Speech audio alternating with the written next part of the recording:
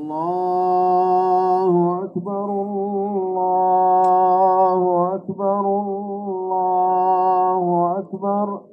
لا إله إلا الله الله أكبر الله أكبر ولله الحمد. الله أكبر الله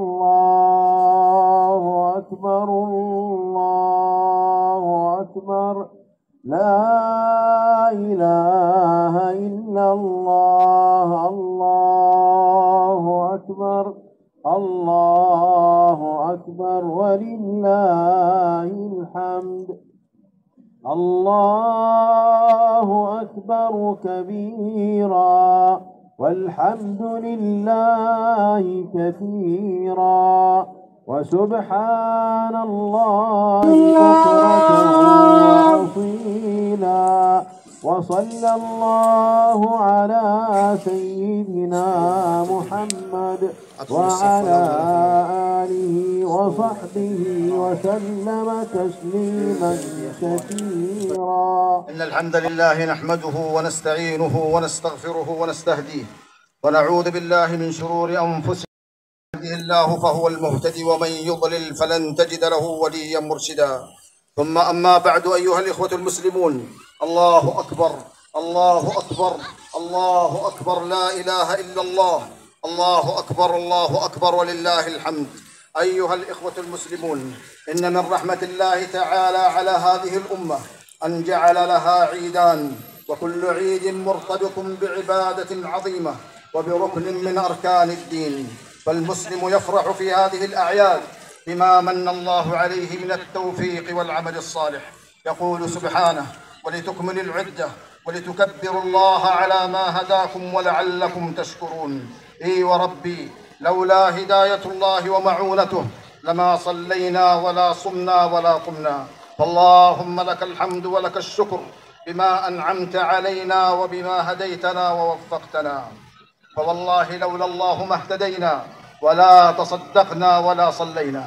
الله أكبر الله أكبر لا إله إلا الله. الله أكبر الله أكبر ولله الحمد. أيها المسلمون بالأمس كان الواحد لو أكل في النهار كان آثما ومستحقا للعذاب. واليوم من صام كان آثما ومستحقا للعقاب.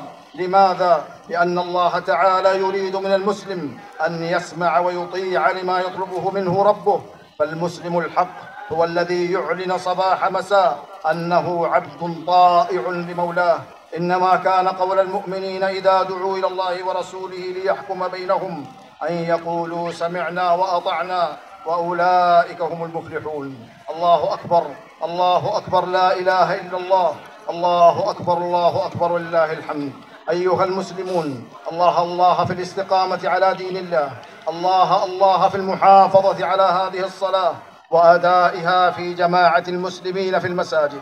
حافظوا على الصلوات والصلاة الوسطى وقوموا لله قانتين. وهي وصية النبي صلى الله عليه وسلم لأمته فكان آخر ما قاله عليه الصلاة والسلام في الرمق الأخير.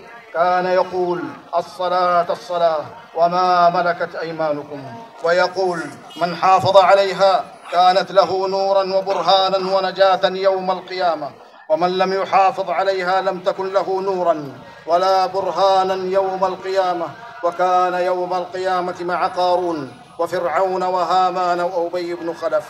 أيها المسلم وإن انتهى رمضان فإن الصوم لا ينتهي والقرآن لا يهجر والأجر لا ينقطع والمسجد لا يترك. واعبد ربك حتى يأتيك اليقين. الله أكبر الله أكبر لا إله إلا الله. الله أكبر الله أكبر لله الحمد. أيها المسلمون يستحب في العيد وغيره. إدخال السرور والفرحة على أسركم ووالديكم وأبنائكم وكل مسلم. أيها المسلمون انشروا المحبة انشروا الفرحة انشروا البهجة.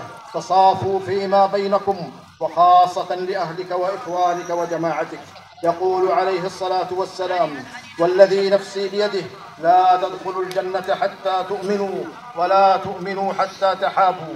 ألا أدلكم أولا أدلكم على شيء إذا فعلتموه تحاببتم؟ أفشوا السلام بينكم ويقول عليه الصلاة والسلام وأحب الأعمال إلى الله عز وجل سرور تدخله على المسلم. الله أكبر الله أكبر لا إله إلا الله. الله أكبر الله أكبر لله الحمد. أيها المسلمون ونحن ننعم بأجواء العيد وبفرحة العيد. علينا ألا ننسى إخواننا المرابطين على الثغور والمرابطين في المسجد الأقصى. والمستضعفين من المسلمين وعدوهم لا يرقب فيهم إلا ولا ذمة فعلينا ألا ننساهم ونحن بين أهلنا وأبنائنا مطمئنين آمنين فعلينا أن ندعو لهم بالنصر والتمكين والحفظ فاللهم تقبل شهيدهم وداوي جريحهم واحفظهم من بين أيديهم ومن خلفهم وردهم إلى ديارهم سالمين غانمين. الله أكبر الله أكبر لا إله إلا الله. الله أكبر الله أكبر لله الحمد. أقول هذا القول وأستغفر الله العظيم لي ولكم فاستغفروه إنه هو الغفور الرحيم.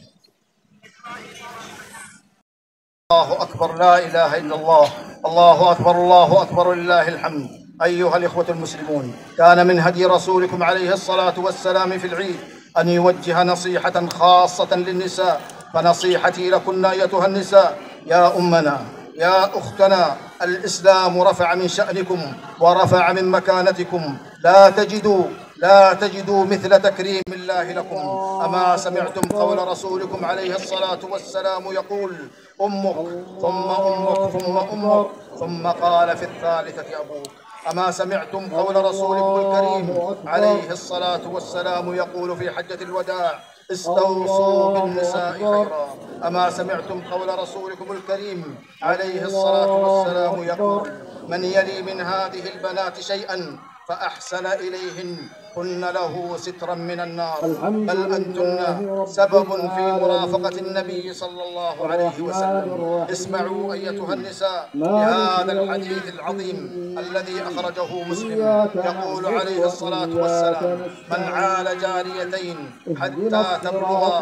جاء يوم القيامة أنا وهو وضم أصابعه. يا أمنا ويا أختنا إياك ثم إياك من دعاة السفور والانحلال دعوات زائفة تارة بشعار كوني حرة أو كوني قوية أو النسوية وغيرها. فهم لا يريدون لك تكريم الإلهي. لا يريدون لك التكريم الإلهي بل يريدون لك أن تكوني في الدرك في الدرك الشيطاني.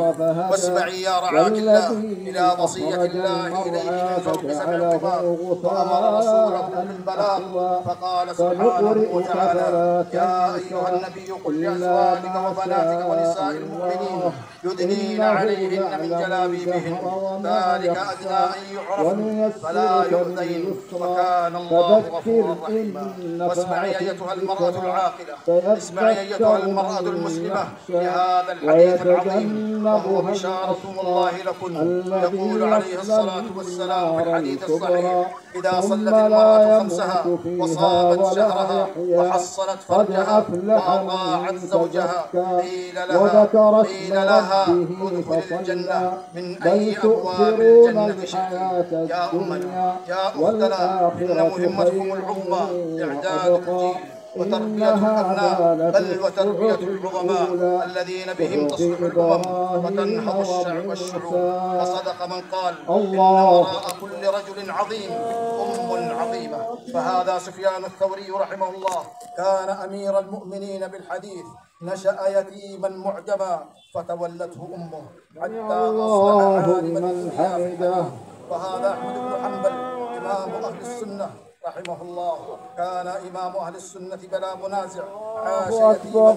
فكانت أمه ترعاه حتى أصبح عالم الدنيا.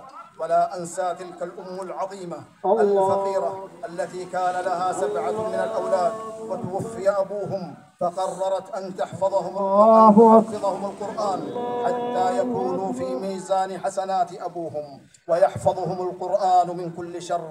فأتم الله لها ما أرادت فحفظ أبناؤها السبعة القرآن فيا له من شرف ليس فوقه شرف. الله أكبر الله أكبر لا إله إلا الله. الله أكبر الله أكبر لله الحمد. اللهم لك الحمد أن بلغتنا رمضان. ولك الحمد بالصيام والقيام. اللهم تقبل منا إنك أنت السميع العليم. اللهم اعن علينا مطمئنا وسائر بلاد المسلمين. اللهم من أرادنا وبلادنا والمسلمين بشر وفتنة وبلاء. اللهم اجعل كيده في نحره وتدبيره تدميرا عليه يا قوي يا عزيز. اللهم ارحم موتانا وموتى المسلمين. واشف مرضانا ومرضى المسلمين.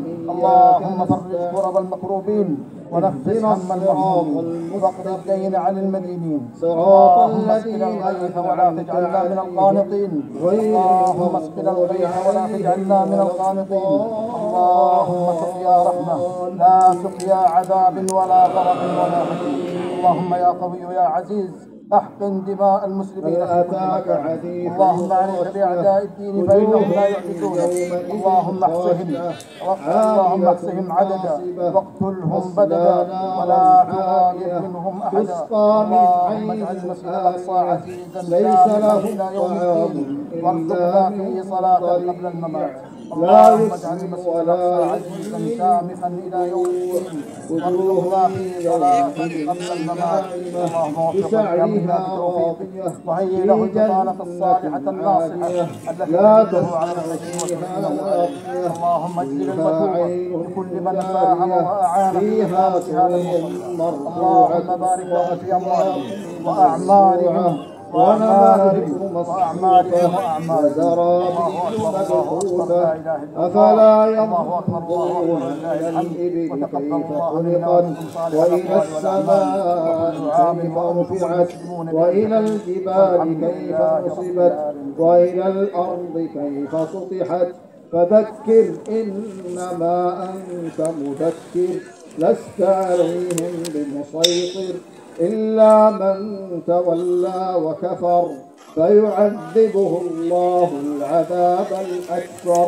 إن إلينا إيابهم ثم إن علينا حسابهم. الله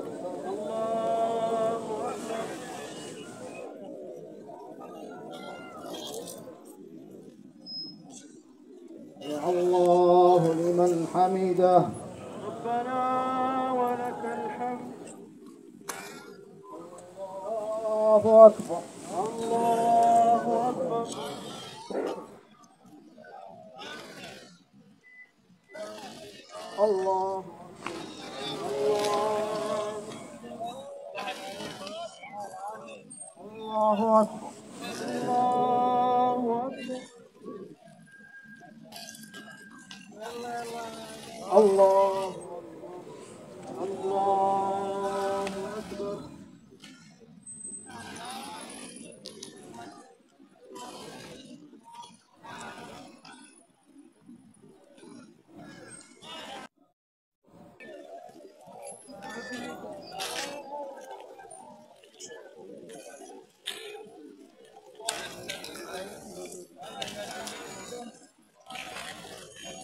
السلام عليكم ورحمة الله. السلام عليكم ورحمة الله.